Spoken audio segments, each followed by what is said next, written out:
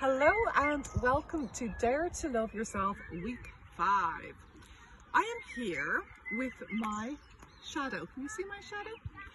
And what this week is all about is really helping you to not just tolerate your shadow self, which essentially is our subconscious mind, a place where a lot of negative thought patterns, beliefs, and emotions can live, but to actually love our shadow self because wherever you go, there it is.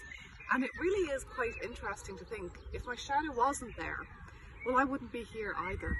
So, embracing, loving the parts of ourselves that really need that care, that attention, and that understanding is a huge, huge part of the self love habit. So, thanks for watching. Please do join me on Instagram if you can. Wednesday evening, quarter past eight, I'll be there doing some exercises. And this week, what I really ask you to do is just think about what is the message your shadow self wants to share.